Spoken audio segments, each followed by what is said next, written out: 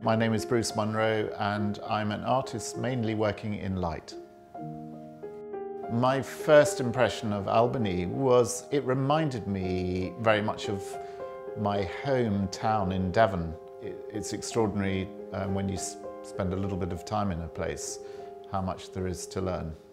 I'm very interested in time and place and I've used light over the last number of years to try and express these themes. The Field of Light was inspired initially by a visit to Uluru.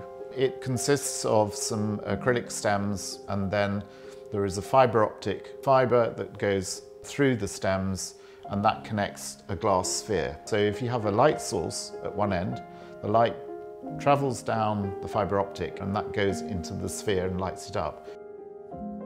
When I visited the National Anzac Centre for the first time, we were looking at a number of places to possibly do an installation and the Avenue of Honour was just such a moving space. I've never created literally an avenue of light and it felt extremely relevant to place the field of light under the trees to coincide with the 1418 centenary of the Anzacs.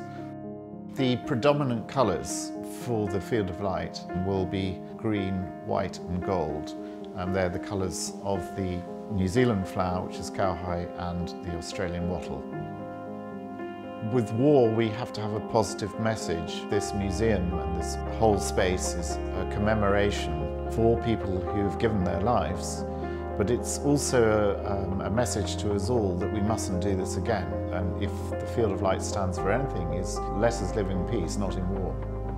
I would love people to come and see the installation, but there are so many reasons to come to Albany anyway, and this is hopefully a, a small but important commemorative time, and I hope they'd come and enjoy it.